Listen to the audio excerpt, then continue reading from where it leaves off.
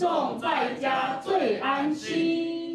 卫福部统计，一百零四年度全人口失能人数有七十六万人，而随着人口老化，一二零年度时失能人口将达到一百二十万人。为了因应失能人口增加，卫福部推动社区居家医疗照护网，希望借由先进的软硬体设备，还有专业团队合作，提供社区中弱势民众个别化到宅医疗服务，让我们呢哈。那个中低收入化比较贫穷、不方便出来看病的人，我们还是让他得到基本的医疗。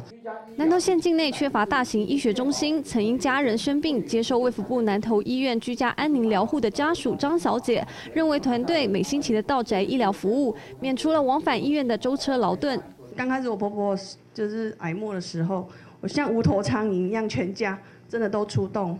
然后就是能够找到减轻她疼痛的医院，就往哪边送。对，直到我认识到了这个南投医院，对，让我有一个方向，然后知道怎么去照顾他。目前卫福部所属医院整合资源，纳入居家护理、居家安宁呼吸照护、社区药室服务以及云端系统服务。未来也筹划让大型医学中心参与，希望让民众安心在地老化。记者喜顾许家荣台北市采访报道。